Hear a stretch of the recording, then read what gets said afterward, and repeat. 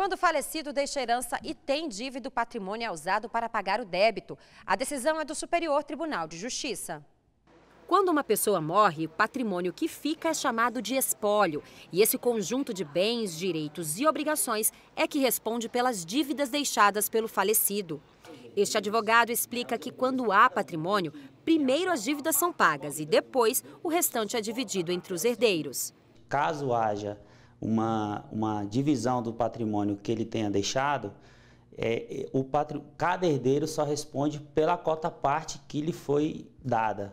Ou seja, se ele possui um patrimônio de 200 mil reais e herdou mais 100 mil reais, ele só vai responder nas dívidas do decujos até 100 mil reais. O patrimônio dele anterior não vai ser tocado.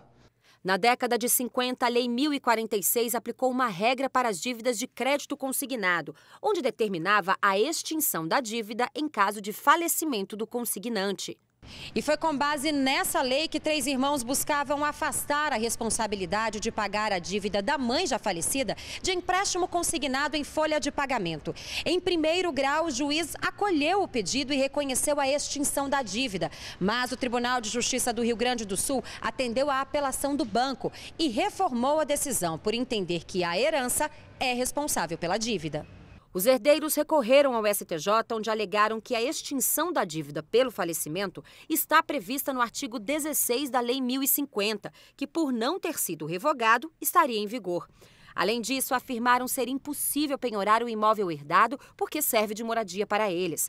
Mas a relatora do recurso, ministra Nancy Andrighi, lembrou que o STJ já tem precedentes diante da edição da Lei 8.112 de 1990, no sentido de revogar as regras anteriormente estabelecidas sobre consignação em folha de pagamento.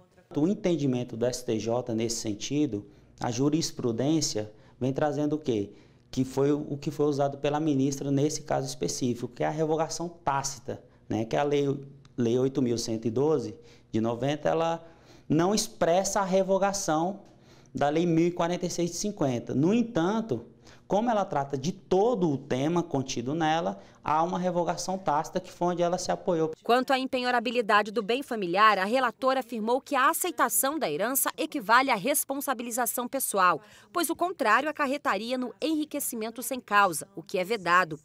Por unanimidade, a terceira turma entendeu que a morte do devedor não extingue dívida contraída. Sendo assim, o pagamento deve ser feito pelo espólio ou, em caso de partilha já realizada, pelos herdeiros.